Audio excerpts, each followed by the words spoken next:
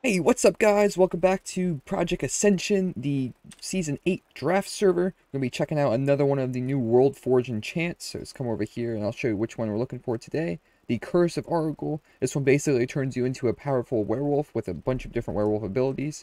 So first you're going to want to come over down here to this Pyrewood Village. This is in the Silverpine Forest, right at the bottom. The easiest way I found to get this one is to just fly over here to this Flight Master if you're the Horde um, and then just run down right through here. It's right beneath Shadow uh, Shadowfang Keep, and there's also one in Shadowfang Keep that's a little bit of a lesser version, but this one is the legendary version. Now, do be careful. There is some elites here. They are low level. As long as you're within around their level, you should be able to take them out pretty easily. They don't seem to have any crazy abilities.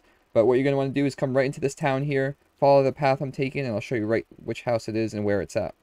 Right, and then you're going to want to split off over here to the left to this double-story house. Head right inside to the left, right up the steps to the top floor. And you're going to see this little red orb here. And once you get up to it, you'll automatically start casting. And this will give you the enchant. And if it's not here, give it a couple minutes. I believe it's a two minute respawn timer. And once you get that, it'll plop right into your inventory.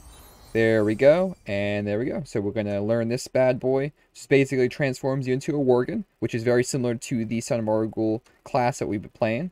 Um, this one has to be also put on a piece of gear, so I'll just have to put on some blue gear and uh, learn it up so I can use it on all my characters. This basically transforms some of your cat abilities into a Worgen form, much stronger, as well as some darkness and shadow magic involved. So pretty cool enchant. Definitely have to play it out. Um, the last one that I was just doing with the with the gunslinger is actually pretty fun. I've been doing some PvP in it, so check out a video on that soon.